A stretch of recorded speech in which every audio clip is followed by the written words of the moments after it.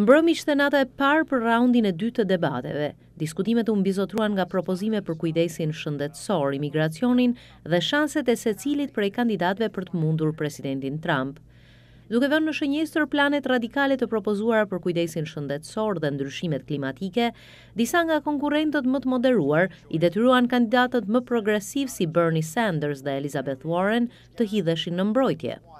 Kjo do të ishte katastrofë e shkaktuar me votë. Më mirë dërgoja fitoren me postë ekspres Presidentit Trump. Senatori Sanders i doli në mbrojtje propozimit të tij radikal për kujdes shëndetësor të mbuluar nga shteti dhe vuri në dukje se në bazë të anketave ai do ta mundë Presidentin Trump. Ne do ta mundim Presidentin Trump keq fare sepse ai është hipokrit dhe ne do t'ia zbulojmë fytyrën e vërtetë.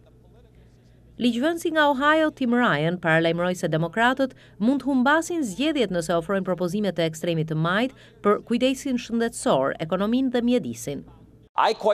Sinqerisht nuk mendoj se me këtë axhendë mund të shkojmë në fitore. Duhet të diskutojmë medoemos problemet e klasës punëtore.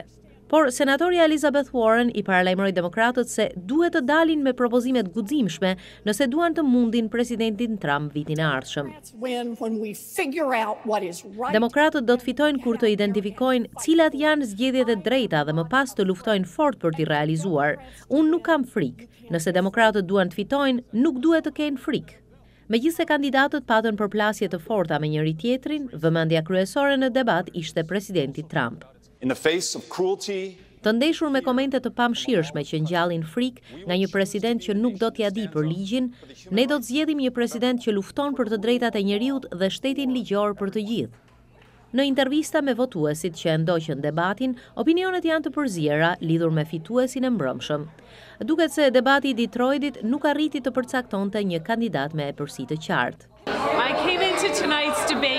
Erdha të shoh debatin pa opinion të paracaktuar. Deri tani i konsideroja senatorët Sanders dhe Warren si me avantazh mbi të tjerët dhe mendoj se të dy dolën shumë mirë.